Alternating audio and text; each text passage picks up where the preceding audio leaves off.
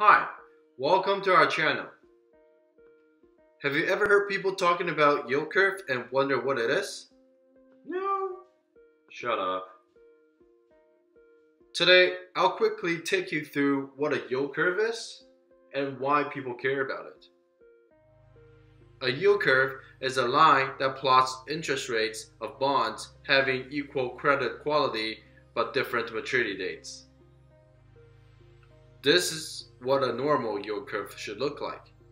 It's upward sloping and concave in shape. Let's look at an example on how to draw a yield curve. Here we have the US Treasury yields for 2, 3, 5, 7, 10, 20, and 30 year. These are often referred as the US benchmark rates. There are three steps to drawing a yield curve. First, draw out the coordinate system. Second, plot the points. Third, connect the points. Easy enough. There are typically two types of yield curve shapes.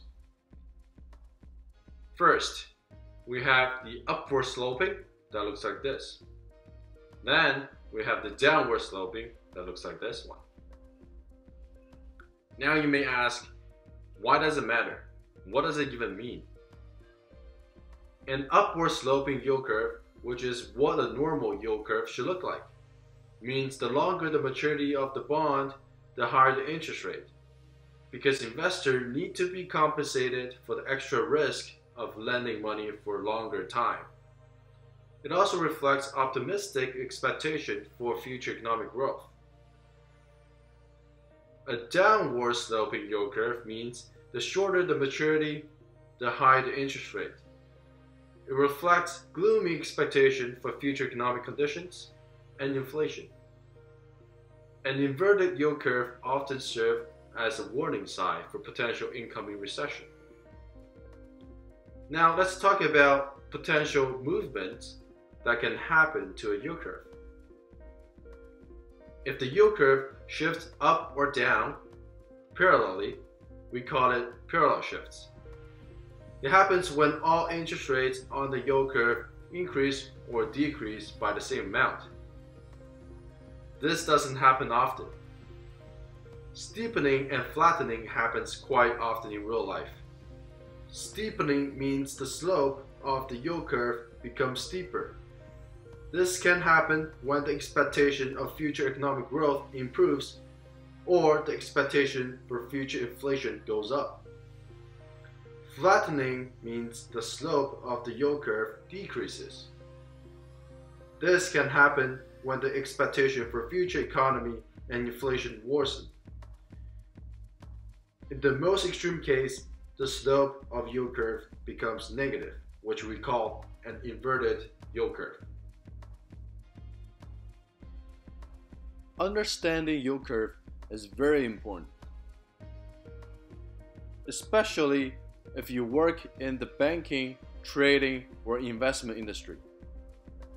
In bond trading, the most used strategies are steepener and flattener. Steepener is a strategy where it profits when yield curve becomes steeper.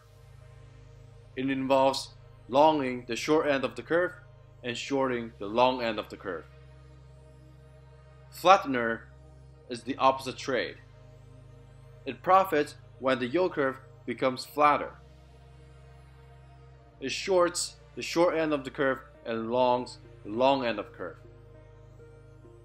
If you're interested in curve trades and want more details about them, please stay tuned for our future videos.